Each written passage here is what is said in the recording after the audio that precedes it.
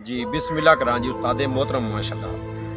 ਜਨਾਬ ਤਾਰਕ ਸਲੀਮ ਸਾਹਿਬ, ਬੰਦਾ ਨਾ ਚੀਜ਼ ਦੇ ਉਸਤਾਦ ਨੇ, ਸ਼ਾਲਾ ਸਲਾਮਤ ਰੱਖੇ। ਜਨਾਬ ਉਹਨਾਂ ਸ਼ਹਿਰ ਕਸੂਰ ਤੋਂ ਆਪਣੇ ਸੱਜਣਾ ਮਿੱਤਰਾਂ ਨਾਲ ਟੁਰਦੇ ਫਿਰਦੇ ਸਾਡੇ ਕੋਲ ਹਾਜ਼ਰ ਹੋਏ ਸਨ। ਇਹ ਉਹਨਾਂ ਦੀ ਮੁਹੱਬਤ ਹੈ ਉਸਤਾਦਾਂ ਦੀ ਨਜ਼ਰ ਪੰਜਾਬੀ ਸ਼ਾਇਰੀ ਪੇਸ਼ ਕਰਨਾ ਚਾਹੁੰਦੇ ਸੀ।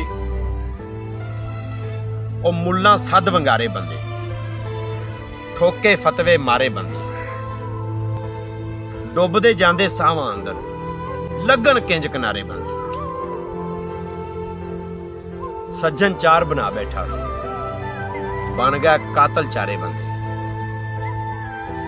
ਕਾਫਰ ਕਹਿ ਕੇ ਮਾਰ ਨਾ ਦੇਵੀ। ਇੱਕੋ ਰੱਬ ਦੇ ਸਾਰੇ ਬੰਦੇ। ਉਹ ਵੀ ਟੁਰ ਗਿਆ ਯਾਰ ਨਜ਼ੀਰਾ। ਜਿੰਨਾ ਸਿਰ ਤੋਂ ਵਾਰੇ ਬੰਦੇ। ਉਸਤਾਦ ਮੋਹਤਰਮ ਸਾਡੀ ਹਾਜ਼ਰੀ ਕਬੂਲ ਕਰਿਆ ਜੀ। ਪੰਜਾਬੀ ਬੋਲ ਜਨਾਬ ਹੋਰਾਂ ਦੀ ਨਜ਼ਰ ਪੇਸ਼ ਕੀਤੇ ਨੇ। ਇਸ ਦੇ ਨਾਲ ਵਾਲੇ ਰੱਬ ਦੇ ਜੁਗ ਜੁਗ ਜੀਵੋ, ਅਸਲਾਮ ਅਲੈਕੁਮ ਰਹਿਮਤੁਲਾਹਿ